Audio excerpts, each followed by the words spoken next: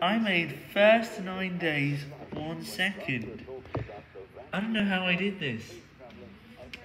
It's as if in a completely straight line.